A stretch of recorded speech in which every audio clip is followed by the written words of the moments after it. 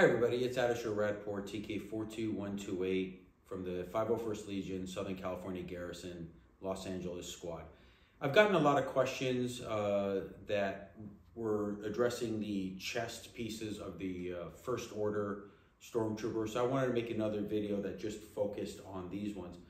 Obviously this is the standard version, this is the Executioner version, and um, this applies to uh, Force Awakens, Last Jedi, Rise of Skywalker. Of course, this is Last Jedi.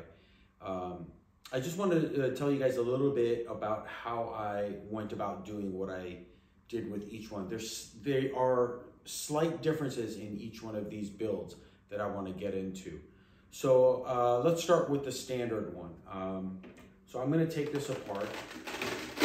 As you can tell, there's Velcro on the sides. But the chest is held together with a magnet. So one of the things that I want to get into is I cut the pills out, but this back here is actually the decal. And uh, a lot of the movie ones were done with the decals.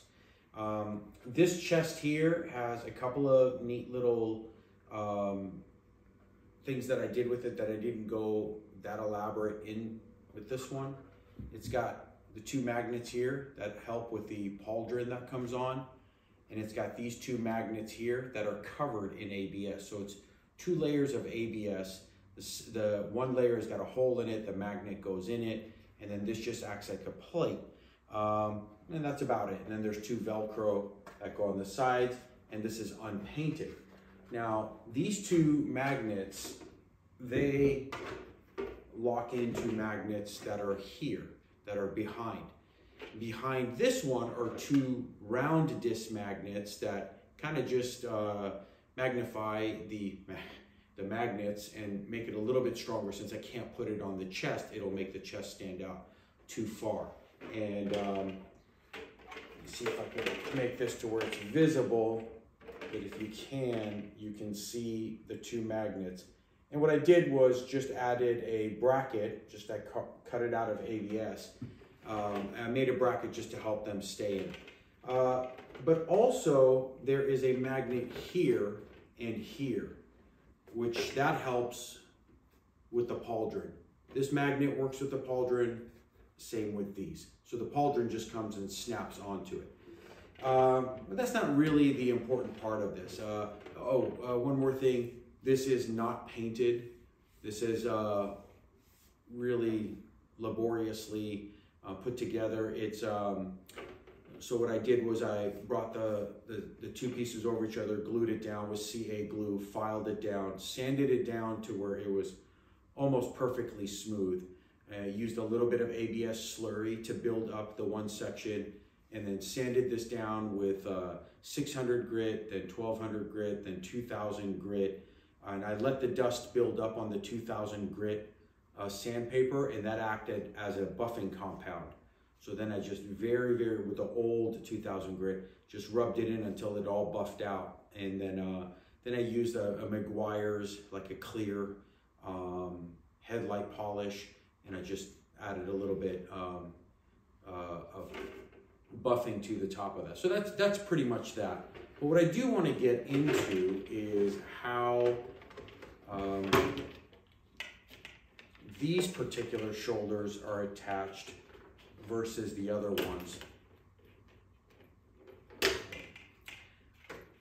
So this is how this is done. There's two snap areas and then there is a, a small buckle that the bicep snaps into. A lot of the other armors are done like this and I wanted to go uh, as close to screen accurate as possible, but uh, I take it to screen accurate, but then give myself a little bit of leniency and something that, for example, if I was building the screen suits, I would have done that I thought would have made it better.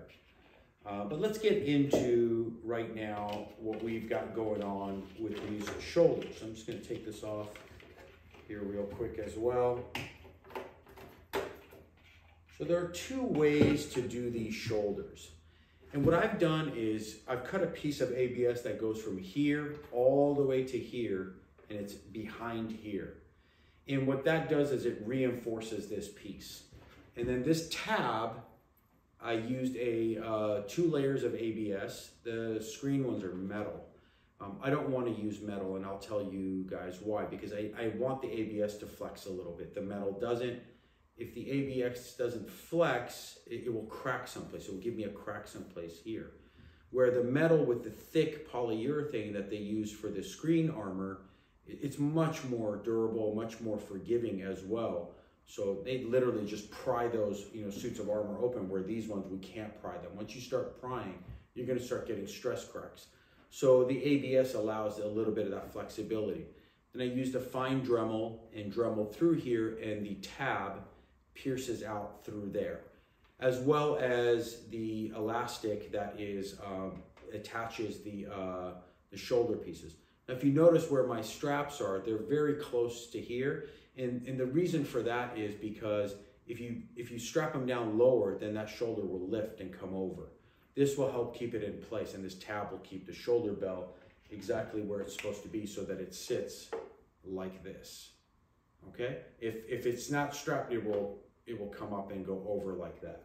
So um, this is one way of doing it and you can see it's just meticulously drilled in there. So if you've got the patience to do that, that's what you want to do. And then here's the Velcro. And of course, all these pieces are rounded. I cut this forward so that I have a little bit more room to get in. Anybody who gets into this knows you're, you're trying to swim into it without uh, splitting this, this armor too far open. Okay, so there's that. There's the Velcro magnets here. And uh, then it, that's it. It's just the two magnets here and then the magnets for the uh, chest. So when I bring that up, it just grabs on and that's it. Okay, and then you can just Velcro these sides. Now, let's get into the details of this version and how I did this. Um, I prefer this method. Uh, so there's couple of different ways that uh, the suits that I saw were done. Uh, I don't know if it was an error in the way that they did it or if they evolved or they just realized that it wasn't worth it whatever the way that it was.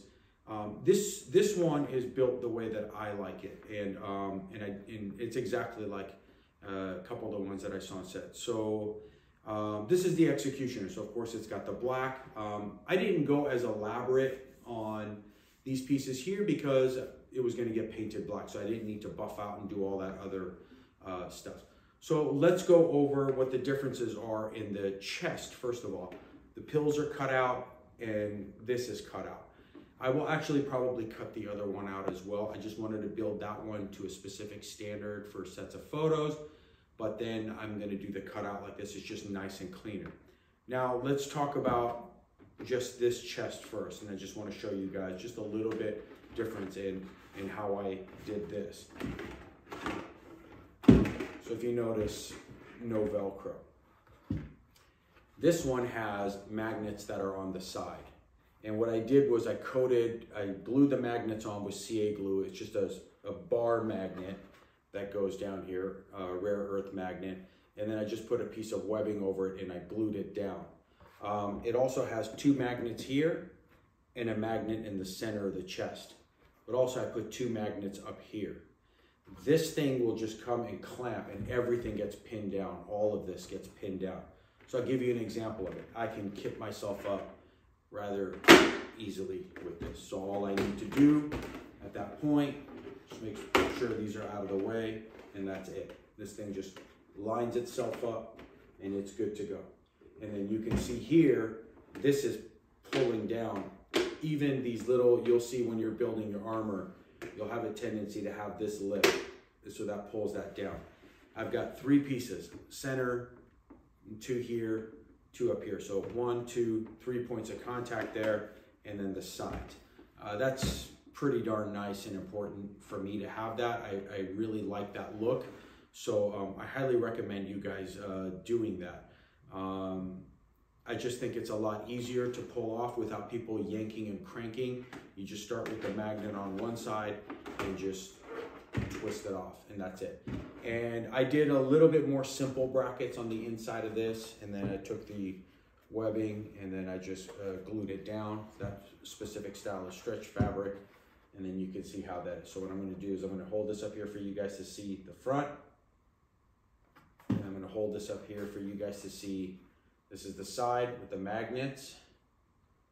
Those are those magnets, as well as the little magnets that are up top. So that's the chest. Now let's get into the nuts and bolts of this. Once again, this piece here, again, it's uh, it's overlapped, ABS slurried. I like that. And then it just painted black, little extra magnet here, the double magnets back in there. We don't need to get into that. I'm gonna take these shoulders off and I'm gonna show you the difference in how this is done. Once again, I put these little tabs close so that they're not gonna override um, the, the functionality of the uh, tab that keeps the shoulder, uh, keeps that shoulder in place where it needs to be. But let's get into the, um, what I've done here with these shoulders. This is the way that I prefer to do this. I think these shoulders are done better. Um, you'll see on uh, some of the armors, uh, screen used armors, they came up, they cut up and came back down instead of piercing through. Um, it was just a lot less work, especially with the thickness of the urethane. It allowed it to flex. But that gives us an advantage with ABS as well because if there isn't a bottom piece there that's going to crack, there's no crack to run up. So I can flex this a lot more. And then once again, the bracket underneath here is a long bracket that goes from here to here with this tab sticking out. And it's just a single layer tab. And then the other interesting thing is, is to do your tabs this way, where they don't puncture through here because you're creating more weaknesses. They just come out from underneath and attach that way. I think it's a far superior way to do it. First of all, it's a lot less work. It's a lot less risk of uh, you damaging your armor or making a mistake and running the slip too far. Um, I'm pretty meticulous about doing things like that, and uh, and I know how to fix it. And I still don't prefer to do it that way. So I think a lot of the they just found that it was easier to just cut the little slot for the bracket to go through, and then just stick these on. And then, unfortunately, with this one, it's black, but you can see what I did with the, the brackets here. So they're, the straps run all the way the length just to give myself a little bit of strength over the bracket plate that's here. And then what I did is I ran another piece of webbing across here just to keep these from lifting up and out that way. So it braces it this way and this way. So that's kind of um, what I went uh, with this path. So now, um, without the shoulders on, let's just go ahead and put this thing back on. And if you're just armoring yourself up, that's how quick and easy it grabs. And you can see how nice that looks. And again, I like this flush look. So it's uh, um, it, it, works out really well putting the two magnets here. What I will say is, with regards to the screen armor, there's a ton of Velcro that's on underneath it.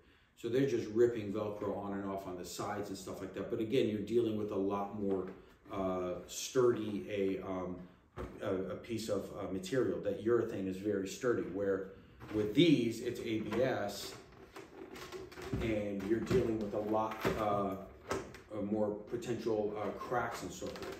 So um, these are the two different breastplates uh, and Denuo Novo, so you can see what's going on with them. One is Velcro on the sides, magnets through the body. This one is magnets through the body, magnets on the top, magnets on the side. You're dealing with two uh, slit cuts here, where these ones just come from underneath. And this one has magnets built in here so that the pauldron just comes and slaps on nice and sturdy. As well as if, if you need to have that pauldron removed or say something happens, it pops off nice and easy uh, so that you're not ripping or potentially breaking any of your armor. So that is um, the, the, the differences between these two um, chest plates. Uh, both ways are really good. You can go either way. I prefer this way. Oh, uh, one more thing I want to get into is if you notice how this cut is done. It doesn't come and join up with the other piece which meets down here. It just allows you more room to get in and they were cut like this. Um, and one other thing I'd like to address, by the way, it's the ram's horns versus these uh, these open front, uh, uh, or sorry, closed front chests this is what the screen ones are. There were specific ones that they just cut and made the ram's horn so, so that it was easy for uh, specific players to get into, probably maybe a handful of them. Uh, I believe the Daniel Craig suit had that. Uh, And a lot of people start to cut those ram's horns into it. Don't do it. Um, those ram's horns, first of all, uh, they flex a lot. They're always sticking out of the side of your armor. And if you do do the ram's horns, you're going to find that you're going to put a bracket across the center to try to keep those two together. This is the way that they that they were. Um, so when you see your kit arrive like this, keep it like this. It adds a lot more durability and strength uh, to the armor in the way the chest attaches, but also in that these don't flare out as you're trooping with your gaskets and everything underneath. You'll see these things will flare out and you'll start getting cracks across your armor. So guys, there we go. There's the chest. Both versions of it. You guys can see that. You guys can hit a little pause on the video, zoom in. I'll zoom it in for you. You can see that. So I hope this answers uh, some of the questions for you guys on the uh, first order chest plate. Once again, Ardeshir Radpour, TK42128, Southern California Garrison, Los Angeles Squad. Happy trooping.